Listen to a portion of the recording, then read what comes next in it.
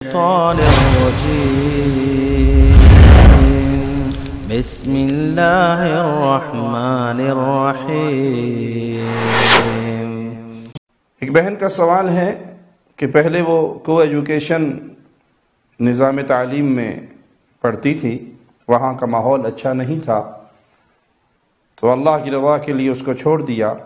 اب لوگ اسے تعن و تشنی کرتے ہیں۔ اور پوچھتی ہیں میں کیا کروں؟ اللہ آپ پہ رحمت فرمائے، جو عمل آپ نے کیا ہے، وہ آپ کا عمل درست ہے۔ جہاں بھی اسلام کے اصولوں پر عمل ہو اور اس کی وجہ سے لوگ تانے دیں، تو انشاءاللہ ان تانوں پر بھی اجر ملے گا۔ صبر کیجیے۔ وہاں کا ماحول اچھا نہیں۔ لڑکی اور لڑکے اکٹھے بیٹھتے ہیں۔ اور بے حیائی کا ماحول ہے۔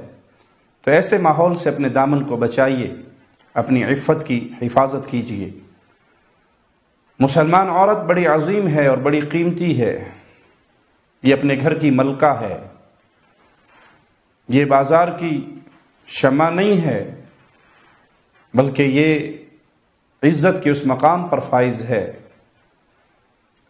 احترام کے اس مقام پر فائز ہے۔ یہ بہن ہو تو قابل احترام ہے، یہ ماں ہو تو قابل احترام ہے، یہ بیٹی ہو تو قابل احترام ہے۔ تو جہاں عزت و عفت کا معاملہ اور ماحول کی خرابی کا ماجرا ہو، وہاں سے اپنا دامن بچا لیں اور لوگوں کے تانوں کی پرواہ نہ کریں۔ اور خاص طور پہ یہ تانے دینے والے ہوتے بھی وہی ہیں جو مسلمانوں میں عفت کے معاملے کو برباد کرنا چاہیں، جس کی ایک مثال تازہ ہم نے ابھی دیکھی عورت آزادی مارچ کے نام پر بے حیائی کا بازار گرم کیا گیا۔ یہ کفار کے اعلی کار جو اہل ایمان میں نکاح کے سسٹم کو ختم کرنا چاہتے ہیں۔ یہ بدکاری، بے حیائی اور زنا کے بازار کو گرم کرنا چاہتے ہیں۔ آپ کی نظروں سے ایک اشتہار کریم ٹیکسی والوں کا گزرا ہوگا اگر نہ دیکھی اس اشتہار کو۔ کس طرح بے حیائی کا مظاہرہ کرتے ہوئے انہوں نے اپنے اشتہارات پہ لکھا ہے کہ جو اپنی شادی سے بھاگنا چاہے، وہ ہمیں کال کرے، وہ ہمارے ذریعے ہماری ٹیکسی کو بلائے اور اس کے ذریعے بھاگ جائے۔ تو یہ مسلمان معاشرے میں بے حیائی، زنا، بدکاری کو عام کر کے کفار کے ایجنڈے کو پورا کر رہے ہیں۔ اور جب یہ اس طرح کی دعوت دی جائے تو بے حیائی کا بازار گرم ہوتا ہے۔ ایک چودہ سال کی بچی ہے، جس کی محلے کے کسی لڑکے سے دوستی ہو گئی۔ باپ عزتوں کا رکھوالا ہوتا ہے، بھائی عزتوں کے رکھوالے ہوتے ہیں، غیرت کے پہرے دار ہوتے ہیں۔ باپ کو خبر ہوئی کہ میری بیٹی کسی غیر لڑکے سے دوستی کر رہی ہے، اس نے اس کو روکنا چاہا۔ تو اس مجرمہ نے جو اس ناروں کا شکار ہو چکی تھی۔ اپنے ہی گھر میں باپ کا رکھا ہوا پستل اٹھایا اور اپنے سگے باپ کو قتل کر دیا۔ پندرہ سال کی بیٹی جسے باپ نے بڑے لاٹ پیار سے پالا، تربیت کی سر پر دستے شفقت رکھا۔ لیکن بیٹی نے اس تحفظ، پیار، محبت اور شفقت کے بدلے باپ کو ہی موت کی آغوش میں سلا دیا۔ پولیس کے مطابق قاتل لڑکی کی محلے کے ایک لڑکے سے دوستی تھی، جس پر والد کو اعتراض تھا۔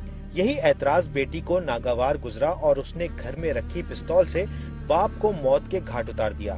میری ایک لڑکے سے دوستی تھی اور ابو ملنے نہیں دیتے تھے تو اسی وجہ سے میں نے مار دیا۔ پستل گھر پڑا ہوا تھا اور پلاننگ میری خود کی تھی۔ ایس ایچ او کے مطابق لڑکا بھی اس قتل میں ملوث تھا۔ پولیس نے لڑکی اور لڑکے کو گرفتار کر لیا۔ کیا باپ کا رشتہ اتنا کمزور ہوتا ہے جس کو صرف چند دنوں کی دوستی پر قربان کر دیا جائے؟ یہی لوگ چاہتے ہیں نکاح ختم ہو، زنا آسان ہو۔ یہ بھیڑیے ہیں جو بکریوں کے حقوق کے لیے جلوس نکال رہے ہیں۔ وہ ان کے حقوق کے لیے جلوس نہیں نکال رہے، بلکہ ان کو شکار میں آسانی کے لیے اپنی جد و جہد کر رہے ہیں۔ تو مسلمان عورت بڑی عزت دار، بڑی غیرت مند، بڑی دیندار اور ملکہ ہوتی ہے اپنے گھر کی، ان ظالموں کے جملوں پہ اپنے کان نہ دھرے جہاں آپ کو لگے کہ یہ ماحول، یہاں کی سوسائٹی، یہاں کا معاشرہ، آپ کی عزت و عفت کے معاملے کے اندر اسلام کے اصولوں کے خلاف چل رہا ہے۔ تو کسی کے تعنوں کی فکر نہ کریں، اپنے دامن کو بچا کر اسلام کی چھاؤں کے نیچے آ جائیں۔ كنتم خير أمة أخرجت للناس.